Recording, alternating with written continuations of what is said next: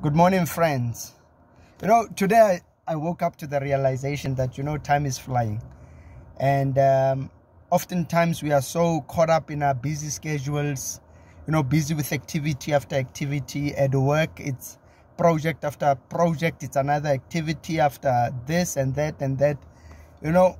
And in the midst of all this busyness, I wonder how often do you take a moment and pause just to think about what you are doing and whether it's working, the methods that you are employing, and how you can better ensure that things are done more efficiently.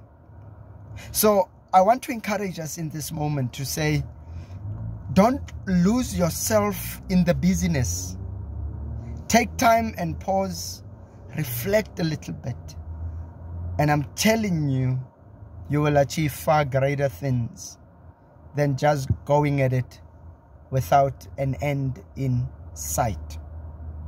So, pause. And it's okay to pause.